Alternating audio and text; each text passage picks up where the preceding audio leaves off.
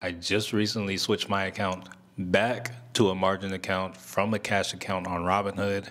In this video, not only am I going to explain why I did that and what the thought process was behind it, but this is also a frequent question I find myself receiving. So I am also going to go over what is the difference between a cash and a margin account. But real quick, before we get into the content, let it be known I am not a financial advisor.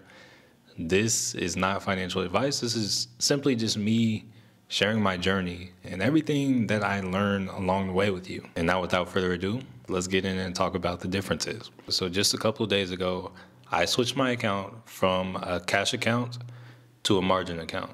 And we're going to go over why I did that in a little bit. I, I want to quickly show you the process for doing that, should you want to do it, or maybe do it the other way around. I think I have a like a quick little short on my channel on how to do it the other way around.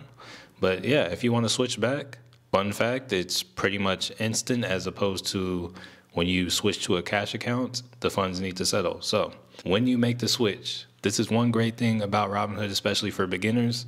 They try to educate you through every step of the way. So says, what's different about margin accounts? You can trade with unsettled funds from stock and option sales, so you don't have to wait for funds to settle next day. For instance, if you have $500 you're trading with, you make a trade for 250 and another trade for 250. You're done trading in that account for the day in a cash account, but you can do it again the next day. Whereas in a margin account, you can do this up to three times in a single day, but you can only make a day trade three times within a five day rolling period. So if you make three trades on Monday, you can't make any until the next Monday. So that is a huge reason why I was on a cash account and to be on a cash account if you're planning on making day trades every day.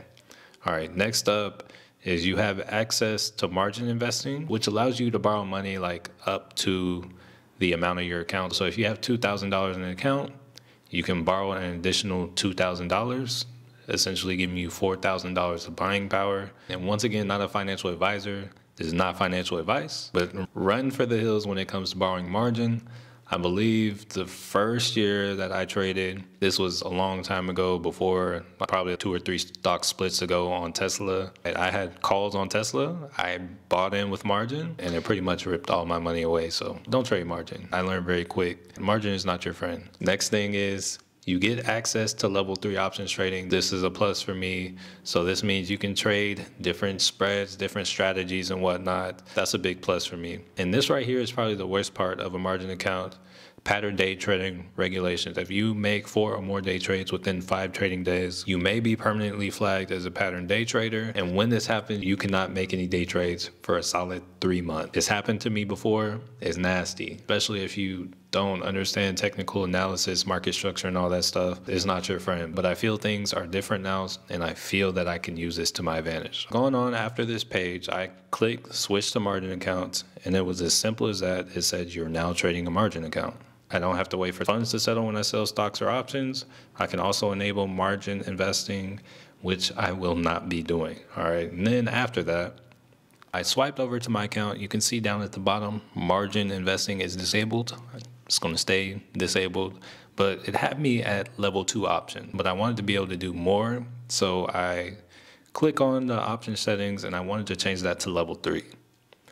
So right here, after I clicked on option settings, I clicked on upgrade, then it says upgrade to level three, and then it goes to tell you what all you can do with that. So through upgrading to level three, you can trade vertical spreads, calendar spreads, iron condors, and more. You can limit your exposure. This right here is a huge part of what I'm trying to do. I want to implement this in the challenge. I want to trade contracts that I think are higher quality while limiting my exposure to really get myself in there and not worry as much about theta. Next, Many options investors use spreads because they offer a double hedge, which means that both potential profit and loss are limited.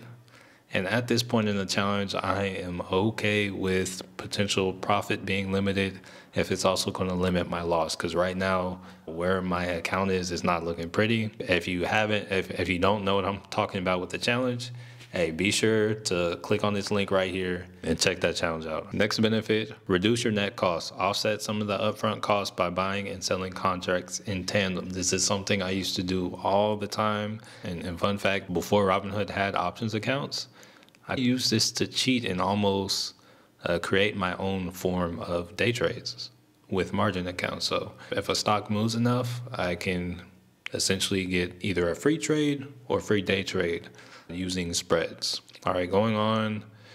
It says trade with flexibility, take on more nuanced view of the market with multi-directional strategies. And that is exactly what I was looking to do. This is what I love about Robinhood. Robinhood is not the best when it comes to order fills and all of that. But when it comes to education and really simplifying things, they do amazingly. So, what are spreads? Spreads involve buying and selling options of the same class in underlying stock. Maybe in the coming weeks, I'll make some new content on that on my channel as I get back into doing this. And going on, you got horizontal spreads. Feel more than welcome to pause and read this, but yeah, Robinhood is great when it comes to education. And there you have it. I, I switched to a margin account because first off, I want to slow my trades down. I intend to slow my trades down. I shouldn't be making a bunch of day trades. And one thing I've noticed about the market currently, it seems that all my trades that have been going well, they've been swing trades and not day trades. So just for the way I see things setting up and the way I trade, it's looking like it's not the smartest to swing just because of all the risks and the size of my account. But the biggest moves have been happening after hours and they've been swings.